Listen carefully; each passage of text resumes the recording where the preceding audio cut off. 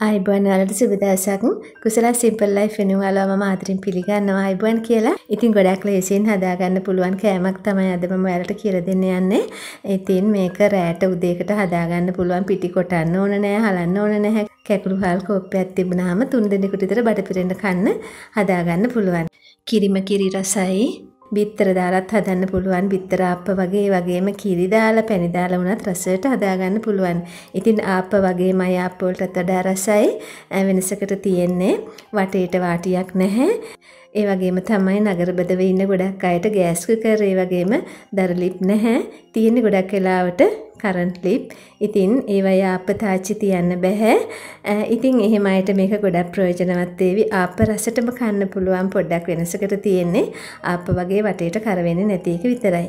ඉතින් අපි යමු දැන් මේක හදන විදිහ බලන්න. ඉතින් මේකට මම ගත්තේ සුදු කැකුළු හාල් කෝප්ප එකක් පුරෝලා ගත්තා ඒ කියන්නේ හුඬු වලින් නම් හුඬු එකක් ඉතින් මේක මම සෝදලා හොඳට උදේ වතුරට දාලා තිබ්බා. දැන් හවස 3ට විතර මම උදේ 10ට විතර දැම්මේ. හවස 3ට විතර තමයි මම මේක හදන්න ගත්තේ. හාල්ලට හොඳට පෙඟිලා මේ විදිහට අතින් අල්ලනකොට කැඩෙන සයිස් එකට තියෙන්න ඕනේ. මේ කෝප්පෙන් එකක් තමයි මම අරගත්තේ. ඉතින් තුන් දෙනෙකුට විතර ඇති වෙනවා මේක මේ විදිහට හදාගත්තම හාල් හුණ්ඩුවකින්. ඊට පස්සේ උකු පොල් කිරි ටිකක් ඕන වෙනවා.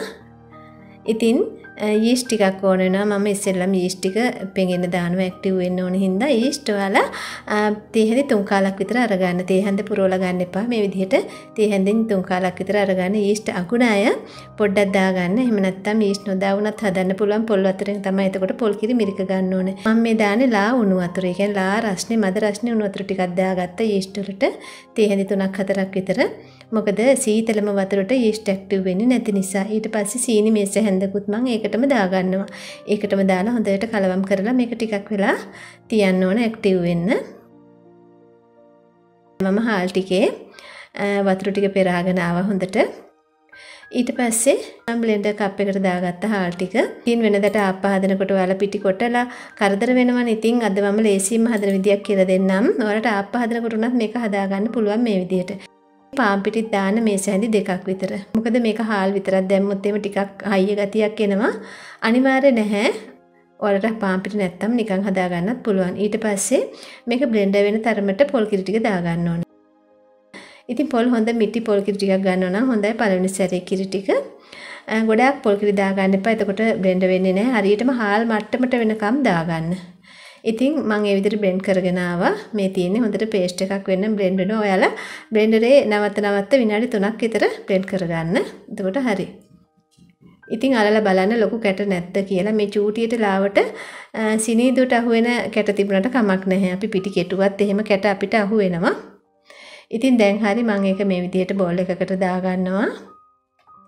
ඉතින් ඔයාලට මේක පිටි කොටලා පිටි හලලා ගන්න කියලාම නියමයක් නැහැ. ආප්ප හදනකොට උනත් මේ විදිහට හදා ගන්න පුළුවන්. ඉතින් ඊට පස්සේ මම තව පොල් කිරි ටිකක් දාලා බ්ලෙන්ඩර් කප් එකේ තියෙන ටිකත් එක්කම ගත්තා, දාගත්තා. ඊට පස්සේ ඇක්ටිව් වෙන්න තියපු යීස්ට් ටික හොඳට ඇක්ටිව් වෙලා දැන් උඩට ඇවිල්ලා පිම්බිලා ඊට පස්සේ මම ඒකත් දාගෙන හොඳට කලවම් කරගන්නවා. ඉතින් මේක පිපෙන තියන්න ඕන දැන් පිපෙන එක ඉක්මන් කරලා තමයි ඊස්ට් වලට ලා රස්නේ උණු වතුර දාන්න කිව්වේ මම. ඒ වගේම තමයි වලට පුළුවන් පොල් මිරිකනකොට පොල් බ්ලෙන්ඩර් කරනකොට රස්නේ උණු වතුරෙන් බ්ලෙන්ඩ් කරගන්න. එතකොට හොඳට කිරිත් එනවා. රස්නේ ගතියට මේක පිපෙන එකත් හොඳට ඉක්මනින්ම වෙනවා. ඉතින් මේක මේ විදිහට වහලා විනාඩි 40ක් විතර තිබ්බම හොඳටම ඇති. පැයක් තිබ්බත් කමක් නැහැ. ඊට වඩා තියන්න එපා. එතකොට පිපිලා වැඩි වෙනවා. ඉතින් ඔයාලට ගෙදර අනිත් වැඩ කරන ගමන් මේක කල්පනාවෙන් ඉඳලා කරගන්න පුළුවන් රැයට කනවා නම් උදේ හාල් ටික පෙගෙන දාලා ටිකක් හවස් වෙනකොට ඒක මේ විදිහට පොල් කිරි මිරිකලා අරගෙන කොටලා ඊට පස්සේ මේ විදිහට පිපෙන්න තියලා හදාගන්න පුළුවන් හවස් වෙනකොට. ඉතින් මට පැයකටත් වඩා පරක් වුණා. ඔයාලට විනාඩි 40ක් විතර මේක තිබ්බම හොඳටම ඇති. දැන් හොඳට මේක පිපිලා තියෙන්නේ. ඔයාලට පේනවා බුබුලු බුබුලු වගේ හැදිලා මේක හරි සොෆ්ට් ගතියට තියෙනවා. දැන් තමයි මේකට ලුණු එකතු කරන්නේ. ලුණු මේකට අවශ්‍ය ප්‍රමාණයට එකතු කරගන්න. හොඳට ලුණු දාලා කලවම් කරලා ඔයාලා ලුණු රස බලන්න පොඩ්ඩක් ඇඟිල්ලට අරගෙන මදි නම් තව එකතු කරගන්න. ඊට පස්සේ මේක ටිකක් ඝනකම වැඩි හින්දා මම පොල් කිරි තමයි එකතු කරගන්නේ මේ. ඉතින් ඉතුරු වෙච්ච පොල් කිරි මේ ප්‍රමාණයට මට සාමාන්‍ය පොල් ගෙඩියක කිරි ගියා මිටි කිරි ටික හොඳටම උකු පොල් කිරි ටික තමයි ගත්තේ බ්ලෙන්ඩ් කරලා. ඉතින් ඒකෙන් ටිකක් ඉතුරු කරගන්න මේ විදිහට මදි වුණාම දාගන්න. ඉතින් හොඳට මේ විදිහට හදාගන්න මේ වැක්කිරෙන පදම එනකන් ඉතින් ආප පදමම තමයි. ඊට පස්සේ මම පෑන් එකක් ලිපේ තිව්වා. ඔයාලට තියෙන රොටි තැටියක් හරි මොකක් හරි අරගන්න. නස්ටික් එකක් තියෙනවා නම් ලේසි.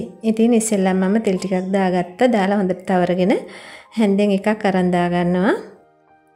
දාලා තුනී කරන්න යන්න එපා තෝස එක වගේ ඉබේ මේක පැතිරෙන ප්‍රමාණය ඇති. ඊට පස්සේ මේක වහන්න වහලා හොඳට තැම්බෙනකන් තියාගන්න. ඉතින් හොඳටම මතක තියාගන්න ඕන ගින්දර සැර වැඩි කරගන්න එපා ලිපේ අඩුම ගින්නි තමයි මේක හදාගන්න ඕන. මොකද නැත්තම් අඩිය කර වෙලා උඩ අමු වෙනවා. ඒ හින්දා හොඳටම ගින්දර සැර අඩු කරලා මේක හදාගන්න. දෙපැත්ත දාන්නේ නැහැ. එක පැත්තෙම මේක හදාගන්න. ඉතින් හොඳට පිපිලා තියෙන නිසා හිල් හිල් හැදෙනවා ලස්සනට. ඉතින් ඔයාලා මේක අයින් කරනකොට බලන්න යට පැත්ත හොඳට බැදිලාද කියලා. මේ විදිහට රන්වන් පාට වෙලා නම් මේක අයින් කරගන්න. ඊට පස්සේ මම මේක අයින් කරගන්නවා. අයින් කරගෙන තව එකක් දාගන්නවා. ඉතින් මේ විදිහට වලට හදාගන්න පුළුවන්. ඉතින් පිටි මිශ්‍රණයට ඔයාලට බිත්තරයක් දාගන්නත් පුළුවන්. බ්ලෙන්ඩ් කරනකොට බිත්තරයකුත් කඩලා දාලා බ්ලෙන්ඩ් කරගන්න පුළුවන්. එතකොට හොඳට ගැලවෙනවා. රොටි තැටියකුණත් ඔයාලට හදාගන්න පුළුවන්. ඉතින් මම නැවත එකක් දාගත්තා. අනිවාර්යෙන් දාලා වහලා තියන්න ඕනේ. ඊට පස්සේ මම බිත්තර අපයක් හදාගන්න විදිහ පෙන්වන්නම්. බිත්තර අපයක් නෙමෙයි බිත්තර රොටියක්. ඉතින් මේ විදිහට පිටි ටිකක් දාලා ඒක නම් හැන්දෙන් තුනී කරන්න ඕන. මොකද බිත්තරේ නැත්තම් අහකට යනවා. හොඳට පිටි ටික තුනී කරන්න මේ විදිහට. ඒ කරලා මැද්දට හරියටම බිත්තරේ දාගන්න. දාලා ලුණු කුඩු චුට්ටකුයි අවශ්‍ය නම් ගම්මිරිස් කුඩුත් දාගන්න. ඉතින් දාලා මේක වහලා තියන්න ඕනේ. ඉතින් පිටි මිශ්‍රණය දාපු ගමන්ම තමයි බිත්තරෙත් දාන්න ඕනේ. ඉතින් මම නැවත කියනවා මේක අඩු ගින්නෙන් තමයි මේවා හදාගන්න ඕනේ. චුට්ටක් වෙලා යනකොට මේක තැම්බෙනවා තේරෙනවා. ඊට පස්සේ අයින් කරගන්න. ඉස්සර කෑමක් තිබුණා කිරි ආප්ප කියලා. ආප්ප හදලා උඩින් පොල් කිරි දාලා ගන්නවා ඉස්සරයක්. ඉතින් මම එහෙම එකකුත් හදාගන්න හිතිලා හදාගත්ත ඒක උඩින් පැණිත් දාගත්තා. ඉතින් පිටි මිශ්‍රණය දාලා පොඩ්ඩක් වහලා තියලා තැම්බුණාට පස්සේ තමයි පොල් කිරි ටිකක් දාගන්න ඕනේ. දාලා ඊට උඩින් පැණි දාගන්න පුළුවන්. මේක ගොඩක් සොෆ්ට් එකට ආවා මං ඒ හින්දා දෙකට නවා ගත්තා.